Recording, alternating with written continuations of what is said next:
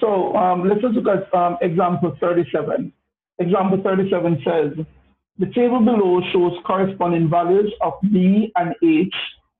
Given that H varies inversely as B, calculate the values of M and N. So here's how I would start out.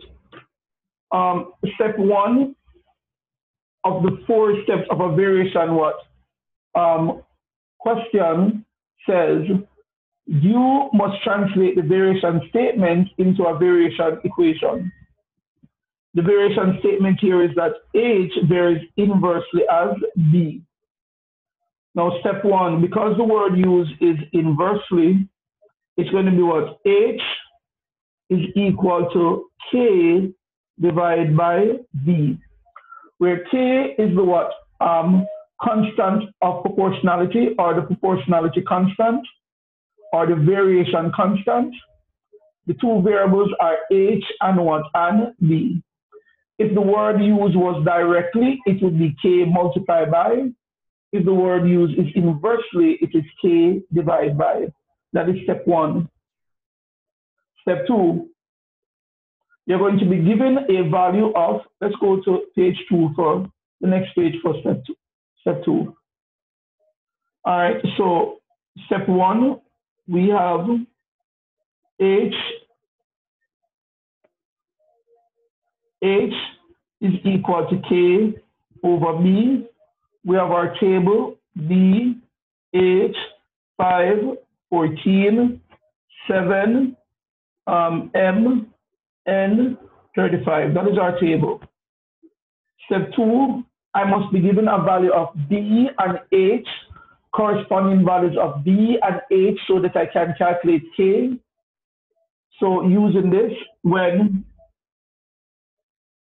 B is equal to 5, H is equal to 14, I'm going to have 14 is equal to K over B, which is 5. If I have one fraction is equal to one fraction, what must I do? Cross multiply. Very good. So 1 times k is k is equal to 5 times 14, which if I'm not mistaken is 70. So k is equal to 70. Step 2, you're given a value of b and h so that you can calculate k. Step 3, rewrite the equation and put in the new value for k. So H is equal to K, which is um, 70 over B. Step four, you're either going to be given a value of B to find H or a value of H to find B. Notice this, when B is equal to 7, um, H is equal to M, so here I'm given a value of what? I'm given a value of B to find a value of H. So let's put them in. M is H is equal to 70 over B, which is 7. 70 divided by 7 is 10. So M is 10. Rewrite the equation. H is equal to 70 over B. All right, so next we need to find N. I'm going to say when X is equal to, sorry, not X, when B, when B is equal to N, H is equal to 35. Put that in so that we can find N we're going to get what? H, which is what? 35 is equal to what? 70 over N over B, which is N. If I have one fraction is equal to one fraction, what must I do?